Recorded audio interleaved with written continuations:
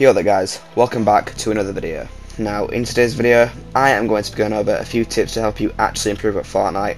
This is not going to be one of those videos where the guy just says, oh you need to learn to build faster and edit faster and have better aiming. This is going to be one of those videos where I talk about the things you already know for the most of you and then you just improve on that one skill to actually become a pro Fortnite player. So you just keep improving, and improving, and improving on that one skill until you've mastered it, then you can move on to the next one. And at the end, you should be better than you were. So let's get into this. So for this first tip, might sound a bit weird for you guys um, who haven't experienced this, but take breaks and don't rage because raging is literally going to get you nowhere for improving. You are not going to improve if you're there calling the guy a hacker because he shot you through a wall or edited a window behind you and managed to hit you in the head with a pump he's not a hacker really is it you, you know that uh, you're just raging it's not going to get you anywhere if you just complain about how somebody killed you like 99.9% of the time that you die it's fair and square. Like it's very rare that you come across hackers. I know there's videos on the internet people coming across hackers but it happens very rarely. Just like search them up and see how many come up. There's, there's not that many. Um, but yeah just take regular breaks if you're starting to get like annoyed.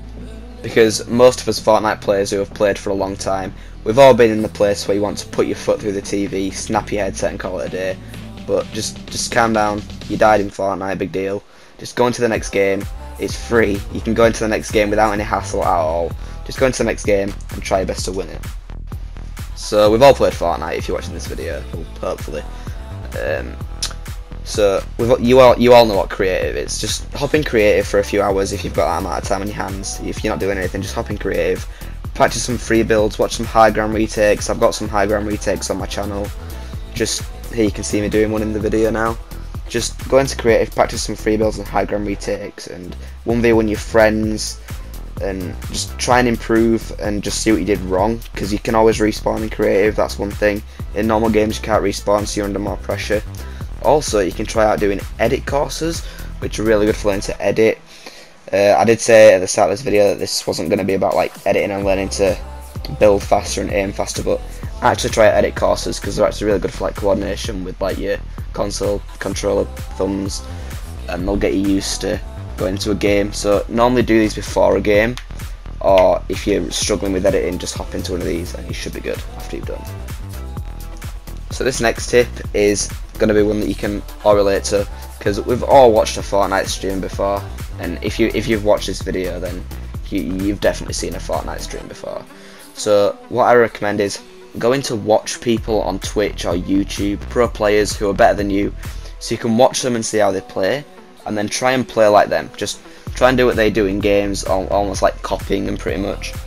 But obviously, your game's not going to plan out as well as they do, theirs do if they win because you're not going to find that bot that was in retail or mega mall just a minute ago because you're in two different games but yeah just watch some famous pro players like Tfue, Ninja 72 hours Mongraal, he's really good he's actually insane so this next one is going to be play arena or scrims so you can get discord scrims on discord where a bot counts down you're already up or they might have a different now. They might have codes that you can put in for like custom matchmaking. But Arena is also good. But then again, Arena has changed over the few weeks because it's just like literal W key now. Everyone rushes you. But they are pro players in there, some of them. Uh, a few people are spammers who don't really know what's going on. They just think they're really good because they're in a game that's called Arena and they think they're insane as soon as they get in there. But some players are actually good in there that you can fight against and see how they play if you die. Just spectate them. That's what I used to do. I used to spectate the player who killed me and see if he was actually any good. Most of the time, he's actually probably better than you, to be honest, if he killed you. Um, but yeah, this one will lead on to my next one. So as I mentioned, spectating, what you're going to do is you're going to go into a game. If you die, go into replay mode and watch back what you did wrong and see what you can improve on as well.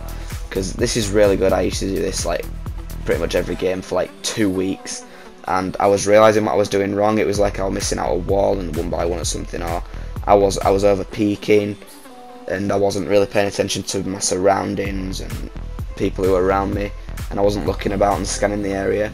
But this can be really good for improving, so in the next game you don't make the same mistakes. So this last tip is going to wrap it up.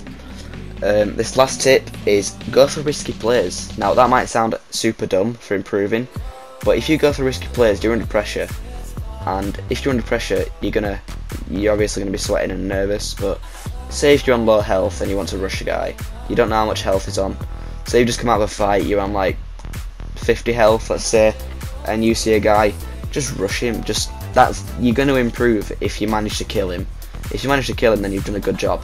Because, well, depends if he's a bot or not. But if he's actually a decent player and he puts up a good fight, and you manage to kill him on the amount of health that you're on, then that's good because you've killed him on the amount of health that you're on, and you're better than him.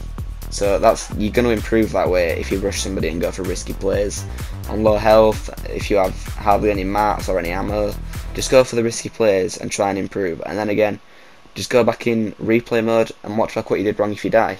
So it's easy as that. So if this video did help you out in any way, then make sure to leave a like, subscribe to my channel. I've just hit 200 subscribers, thanks a lot for that guys. Um, my next milestone is 300 then I guess, so let's try to get me to 300 subscribers.